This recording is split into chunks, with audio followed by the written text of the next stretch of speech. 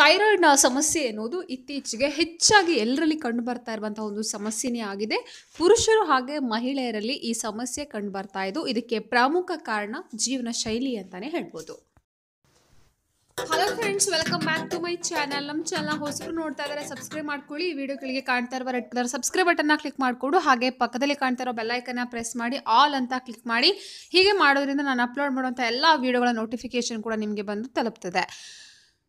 ಥೈರಾಯ್ಡ್ನ ಸಮಸ್ಯೆ ಅನ್ನೋದು ಇತ್ತೀಚೆಗೆ ಹೆಚ್ಚಾಗಿ ಕಂಡು ಬರ್ತಾ ಇರುವಂತಹ ಒಂದು ಸಮಸ್ಯೆ ಆಗಿದೆ ಪುರುಷರು ಹಾಗೆ ಮಹಿಳೆಯರಲ್ಲಿ ಈ ಸಮಸ್ಯೆ ಕಂಡು ಬರ್ತಾ ಇದ್ದು, ಇದಕ್ಕೆ ಪ್ರಮುಖ ಕಾರಣ ಜೀವನ ಶೈಲಿ ಅಂತಾನೆ ಹೇಳ್ಬೋದು.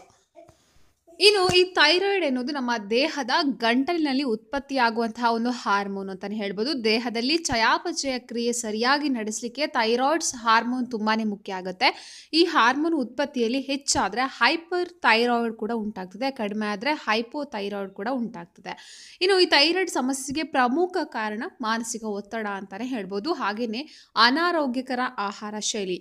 ಹಾಗೆಯೇ ವ್ಯಾಯಾಮವನ್ನು ಕೂಡ ಮಾಡದೇ ಇರೋದು. ನಾವು ಕೂತಲ್ಲೇ ಕೂತಿರೋದ್ರಿಂದ ನಮ್ಮ ದೇಹದಲ್ಲಿ ಒಬೆಸಿಟಿ ಅಂಶ ಕೂಡ ಜಾಸ್ತಿ ಆಗುತ್ತೆ. ಎಲ್ಲ ಸಮಸ್ಯೆಗಳು ಕೂಡ ಕಾಣಿಸ್ಕೊಳ್ತದೆ.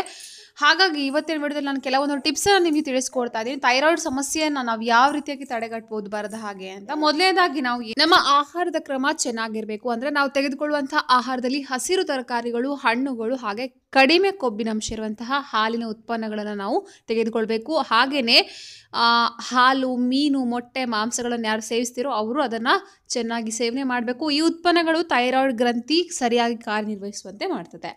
ಇನ್ನು ಎರಡನೇದು ಬಂದ್ಬಿಟ್ಟು ಥೈರಾಯ್ಡ್ನ ಸಮಸ್ಯೆ ಯಾರಿಗೆ ಇರ್ತದೆ ನೋಡಿ, ಅವರು ತುಂಬ ಸಕ್ಕರೆನ ಬಳಸೋದು ಒಳ್ಳೆಯದಲ್ಲ ಯಾಕಂತಂದರೆ ಸಕ್ಕರೆಯನ್ನು ನೀವು ಬಳಸೋದ್ರಿಂದ ಉರಿಯೂತ ಇನ್ನಷ್ಟು ಜಾಸ್ತಿ ಆಗ್ತದೆ. ಹಾಗಾಗಿ ಥೈರಾಯ್ಡ್ ಸಮಸ್ಯೆ ಇರುವವರು ಸಕ್ಕರೆಯನ್ನು ಆದಷ್ಟು ಕಡಿಮೆ ಮಾಡೋದನ್ನು ಅಭ್ಯಾಸ ಮಾಡ್ಕೊಳ್ಬೇಕಾಗುತ್ತೆ.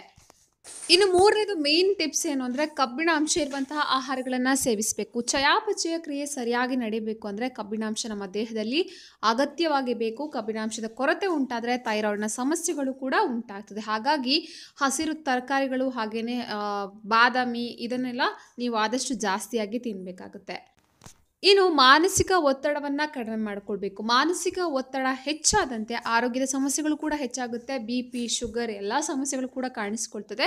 ಹಾಗಾಗಿ ಥೈರಾಯ್ಡ್ ಸಮಸ್ಯೆ ಇದ್ದವರು ಅಧಿಕ ಮಾನಸಿಕ ಒತ್ತಡಕ್ಕೆ ಒಳಗಾದರೆ ಸಮಸ್ಯೆ ಮತ್ತಷ್ಟು ಜಾಸ್ತಿ ಆಗ್ತದೆ. ಹಾಗಾಗಿ ಮಾನಸಿಕ ಒತ್ತಡವನ್ನು ಹೊರ ಹಾಕಲಿಕ್ಕೆ ಮನಸ್ಸಿಗೆ ಖುಷಿ ನೀಡುವಂತಹ ಕಾರ್ಯಕ್ರಮಗಳನ್ನು ಕೂಡ ಮಾಡಬೇಕು. ಇನ್ನು ಯೋಗ ಅಭ್ಯಾಸವನ್ನು ಕೂಡ ಮಾಡಬೇಕಾಗುತ್ತೆ.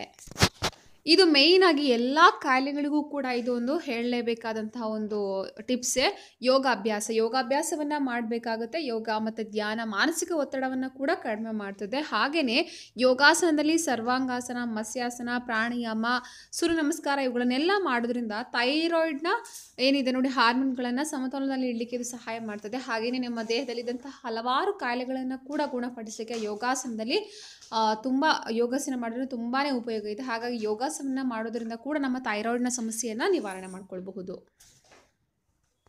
ಇನ್ನು ಇನ್ನೊಂದು ಹೇಳಕ್ಕೆ ಇಷ್ಟಪಡ್ತೀನಿ ಥೈರಾಯ್ಡ್ ಸಮಸ್ಯೆಗೆ ಕಾರಣ ಏನು ಅಂತ. ಕಬ್ಬಿಣದ ಅಂಶ ಕಡಿಮೆ ಆಗೋದು ಅಯೋಡಿನ್ ಇವುಗಳ ಕೊರತೆ ಉಂಟಾದರೆ ಥೈರಾಯ್ಡ್ನ ಸಮಸ್ಯೆಗಳು ಕೂಡ ಉಂಟಾಗ್ತದೆ. ಹಾಗೆಯೇ ಥೈರಾಯ್ಡ್ ಸಮಸ್ಯೆಗೆ ಯಾವ ಆಹಾರ ಒಳ್ಳೆಯದಲ್ಲ ಅಂದರೆ ಪೈನಟ್ಸ್ ಕಡಲೆ ಸ್ಟ್ರಾಬೆರಿ ಕ್ಯಾಬೇಜ್ ಬ್ರೋಕೊಲಿ ಈ ಥರದ ಆಹಾರಗಳನ್ನು ಆದಷ್ಟು ಕಡಿಮೆ ಮಾಡಿ ಇದನ್ನು ಹೆಚ್ಚಾಗಿ ಸೇವಿಸಲಿಕ್ಕೆ ಹೋಗಬೇಡಿ. ಇನ್ನು ಥೈರಾಯ್ಡ್ಗೆ ಏನಿಲ್ಲ ಒಳ್ಳೆಯದು ಥೈರಾಯ್ಡ್ಗೆ ಅಂದರೆ ಯೋಗ, ವ್ಯಾಯಾಮ, ಧಾನ್ಯಗಳು ಹಾಗೆ ಈಜು ಸೈಕ್ಲಿಂಗ್ ನಡೆಯುವುದು ವಾಕಿಂಗ್ ಇದೆಲ್ಲ ಹಾರ್ಮೋನ್ ಥೈರಾಯ್ಡ್ ಹಾರ್ಮೋನನ್ನು ನಿಯಂತ್ರಣದಲ್ಲಿರುವಂತೆ ಮಾಡ್ತದೆ. ಇದಿಷ್ಟು ಥೈರಾಯ್ಡ್ ಸಮಸ್ಯೆಯಿಂದ ಬಳಲ್ತಿರುವವರಿಗೆ ಹಾಗೇನೆ ಥೈರಾಯ್ಡ್ ಸಮಸ್ಯೆಯನ್ನು ಯಾವ ರೀತಿಯಾಗಿ ನಿಯಂತ್ರಣ ಮಾಡೋದು ಅನ್ನೋದಕ್ಕೆ ನಾನು ಕೆಲವೊಂದು ಟಿಪ್ಸ್ಗಳನ್ನು ಇವತ್ತಿನ ವಿಡಿಯೋದಲ್ಲಿ ಶೇರ್ ಮಾಡಿದ್ದೀನಿ. ಸೊ ನಿಮಗೂ ಇಷ್ಟ ಆಯಿತು ಅಂದ್ಕೊಂಡು ಇಷ್ಟ ಆಯಿತು ಅಂದರೆ ಲೈಕ್ ಮಾಡಿ, ಹಾಗೆ ಶೇರ್ ಮಾಡಿ. ಹಾಗೆ ನಿಮ್ಮ ಅನಿಸಿಕೆ ಏನೇ ಇದ್ರೂ ಕೂಡ ನನಗೆ ಕಮೆಂಟ್ ಮೂಲಕ ಬರೆದು ತಿಳಿಸಿ ಹಾಗೂ ತಪ್ಪದೆ ಕನ್ನಡ ನ್ಯೂಸ್ ಪಾಯಿಂಟ್ ಚಾನಲ್ನ ಸಬ್ಸ್ಕ್ರೈಬ್ ಮಾಡೋದನ್ನು ಕೂಡ ಮರಿಬೇಡಿ. ನಮಸ್ಕಾರ.